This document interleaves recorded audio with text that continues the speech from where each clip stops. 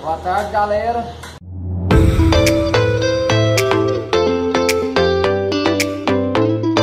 Vou fazer um vídeo aqui no curral, aqui onde, onde a gente mora. Aqui é a ordenha, onde é que a gente trabalha.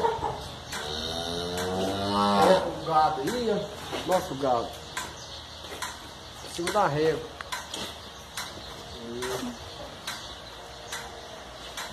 Tá chovendo, muita chuva aqui. Muito barro. Ô gente, vou contar pra vocês. Tem uns sete dias pra trás agora. Eu fui buscar esse boi lá embaixo, lá no pasto, lá no Mambaça. E ele correu atrás de mim me pegou. Foi até um milagre de Deus de eu estar aqui de novo. Porque quase me deixou paralítico, quase me matou. Olha lá pra você ver. Quem tem um boi desse na, na fazenda, muito cuidado, é muito traiçoeiro. Não precisa brincar. Cadê? Qual que é? Olha lá, que grandão lá. Não brinca com, com um animal desse, que ele é muito traiçoeiro. Ele era. Ah, aqui na tira o leite aqui, é 8 pontos de ordem. Tem 8 vacas de uma vez. É isso aí, muita chuva, muito barro.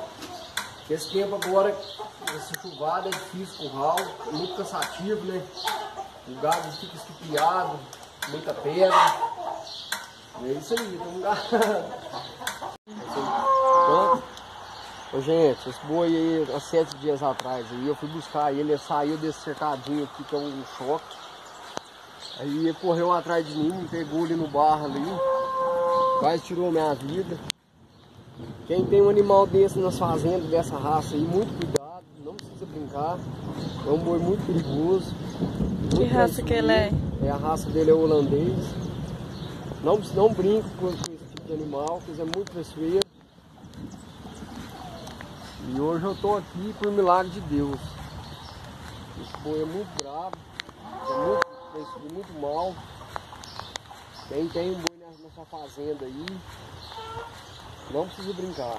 E tem muito barro aí pra você ver, ó. Muita chuva. Muito cansativo esse tempo agora com chuva. that hard.